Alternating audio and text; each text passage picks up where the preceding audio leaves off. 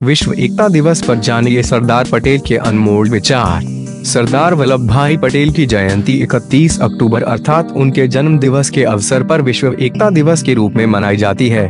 देश की आज़ादी में सरदार पटेल का योगदान हमेशा स्मरणीय रहेगा। पाँच सौ बासठ देशी रियासतों का भारत में विलय सरदार पटेल ने ही करवाया था। अटल निश्चय से उत्प्रोत सरदार वल्लभ भाई पटेल की जयंती के मौके पर जानिए उनके ऐसे विचारों को जो किसी की भी ज़िंदगी में और समाज के परिदृश्य में बदलाव ला सकते हैं।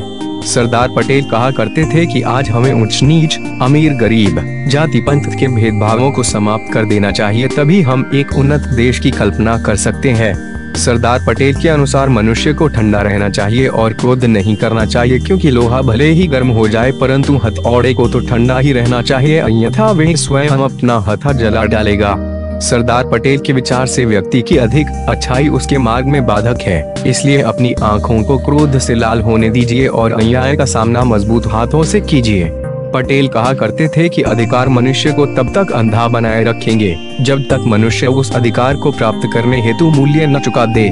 सरदार पटेल के अनुसार इंसान को अपना अपमान सहने की कला भी आनी चाहिए।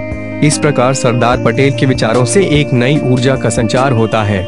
सरदार पटेल की एक ही इच्छा है कि भारत एक अच्छा उत्पादक हो और इस देश में कोई अन्न के लिए आँसू बहाता हुआ भूखा न रहे।